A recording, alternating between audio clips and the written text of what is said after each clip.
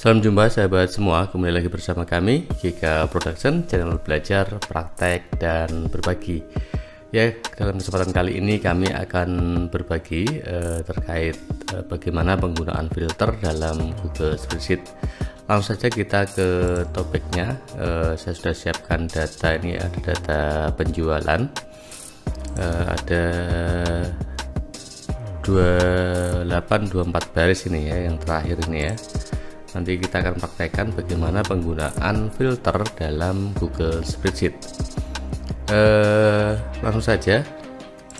Eh, kita di sini. Yang pertama kita klik data. Nah dalam filter ini Google Spreadsheet punya banyak cara ya. Yang pertama dengan ini ya grid filter. Kita eh, klik yang grid filter ini. Ya saya ulangi dari menu data. Kita taruh ini di sini ya. Menu data kemudian filter. Ini hampir sama dengan yang di Microsoft Excel ya. Kemudian teman-teman tinggal lihat di sini ada tanda-tanda seperti ini. Misalnya kita mau uh, filter produknya. Ini ada empat produk ya classic car motorcycle banyak ya. Kelihatan empat. Misalnya kita clear dulu uh, kita mau filter hanya motorcycle misalnya ya. Nah, oke. Okay. nah sampai ke bawah dia motorcycle semua. Ini yang aktif dia akan langsung berubah seperti ini. Yang terfilter ya yang belum terfilter ada tanda seperti ini. Kolom yang enggak ada dipakai filternya. Kemudian country misalnya ya. Countrynya kita clear dulu kita pilih yang Jepang misalnya ya. Kita klik OK kemudian satu lagi quantity nah ini kuantitinya. Yang ini uh, by condition misalnya ya. By condition ini bisa banyak uh, kondisi. Jika kosong jika teksnya sama persis atau saya pilih ini karena angka ya. Lebih besar dari ini ada 20 ada 39 misalnya 30 ya. Saya ambil 30 Oke. Nah dia ini kita akan kita yang akan filter ini di kolom produk di kolom country dan kolom quantity ya jumlahnya ya. Teman-teman nanti juga bisa mengkombinasikan eh, apa namanya banyak kondisi mana saja yang akan difilter. Kemudian yang kedua kita kontrol Z saja ya biar kembali ke awal. Kita ingat tadi ada customernya motor eh, produknya motorcycle countrynya Jepang dan kuantitinya di atas 30 eh, kita kontrol Z. Kontrol Z lagi biar kembali ke nih kondisi awal ya. Kemudian yang kedua eh, kita bisa menggunakan filter dengan filter views ya ini ya. Kita klik create new filter views misalnya ya. Nah ini lihat dulu ya. Secara tampilan dia akan sama. Ada tombol seperti ini yang muncul ketika kita klik data terus create filter create filter views tadi. Uh, coba kita praktekkan tadi ya. Ini secara secara teknis hampir sama ya motorcycle kemudian countrynya tadi eh, Jepang tadi ya. Jepang. Ntar nggak kelihatan ya kita kecilkan sedikit country. Kita pilih Jepang misalnya. Kita clear dulu kita pilih Jepang oke. Okay. kemudian kuantitinya by condition lebih besar dari 30 oh ke bawah terus mana tadi uh, saya kecilkan dulu ya. Quantity lebih by condition lebih besar greater than 30 kemudian kita bentar kita klik OK. Nah dia secara tampilan hampir sama. Cuman bedanya nih ya, kita dulu perbedaan mendasar antara filter views dengan yang filter tadi yang data tadi yang di sebelumnya. Kalau filter views ini ini tidak berdampak kepada eh, teman yang menggunakan file yang sama. Coba kita praktekkan ya. Kita share dulu. Misalnya anyone with link copy link oke saya buka yang jendela samaran dulu ya. Apakah dia mau? Nah ini dia kalau uh, filter views yang tadi kan kita pakai yang filter views ya. Di tampilan kita seperti ini cuman di tampilan uh, temen yang kita share dia masih uh, sama standar. Nggak ada semacam nggak ada hal yang difilter gitu ya kita bandingkan misalnya kita kontrol Z ya. Oke dah. Ini kemudian ke data. Filter viewsnya kita non. Nah. Sekarang kita gunakan yang eh, filter dulu. Kita yang grid filter ini yang pertama tadi ya bukan yang grid views. Ini kita coba filter hal yang sama motorcycle. Countrynya di Jepang. Kemudian quantity by condition lebih besar dari 30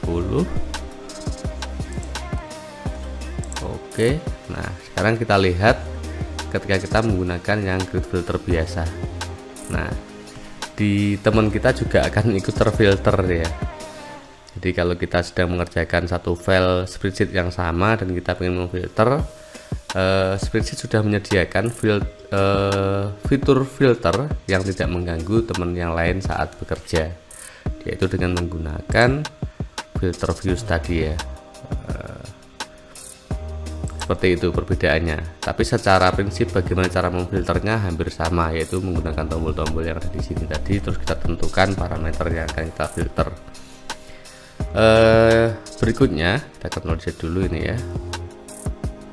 Nah ini sudah filternya hilang ya. Kita lihat yang di kanan nah dia akan kembali lagi dia. Karena dia uh, dengan grid filter tadi akan mempengaruhi data di uh, yang teman yang kita share linknya. Kemudian kita remove filter dulu ya. Uh, yang ketiga tadi kita sudah yang pertama dengan grid filter yang uh, kedua dengan filter view secara prinsip sama cuman bedanya kalau grid filter tadi akan mempengaruhi uh, teman yang menggunakan link yang sama atau file yang sama tapi kalau filter views hanya kita sendiri yang melihatnya. Uh, kemudian berikutnya uh, kita akan menggunakan e, mempraktekkan bagaimana memfilter dengan cara menggunakan fungsi filter. Berikutnya adalah menggunakan dengan fungsi filter kita tuliskan di sini sama dengan filter. Sorry filter. Kemudian eh, ini tanda tanyanya ya biar biar tahu. Kemudian eh, range nya range nya kita ambil dari data sini. Kita dulu. Kemudian kondisinya ya tadi ya ini kita hapus dulu ya yang jumlah barisnya ya. Dari kolom A sampai kolom I. Kemudian kondisinya kita samakan dengan yang tadi. Jika produk adalah motorcycle motorcycle kemudian eh, country-nya sama dengan Jepang tadi ya. Kemudian kuantiti lebih besar dari 30 misalnya seperti itu. Kita tekan enter. Nah dia hampir sama ya. Kita coba tes tadi di sini. Kita coba dengan data tadi filter satu. Oh, sebentar produknya tadi tadi belum disimpan ya. Jadi dengan filter view ini kita bisa menyimpan nama filternya ya. Produk countrynya Jepang tadi ya. Kita klik OK. Kemudian kuantitinya by condition lebih besar dari 30 klik OK. Nah datanya ini kita simpan dulu. Coba uh, giga filter misalnya Seperti itu. Uh, kita cek ini dengan filter views ya.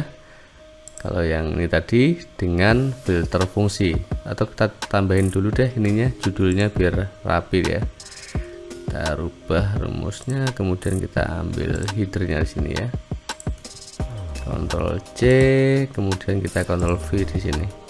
Oke seperti itu nah, ini ada lima data dengan cara menggunakan fungsi yang dengan filter views ya. Nah, tadi kalau filter views juga bisa di save ya.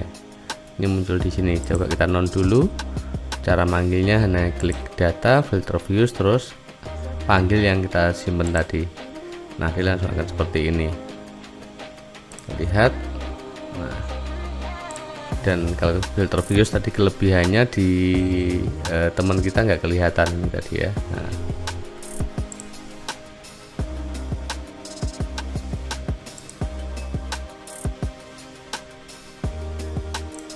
nah ini filter viewsnya di sini di kolom data edisi data eh, seperti itu bagaimana menggunakan filter yaitu yang pertama dengan kita ini dulu non dulu ya. Dengan menggunakan grid filter tadi ya. Data grid filter kemudian filter views. Di mana perbedaannya kalau ini dia akan berpengaruh pada teman kerja kita akan ikut berubah juga. Kalau filter views hanya kita yang merasakan perubahan filternya.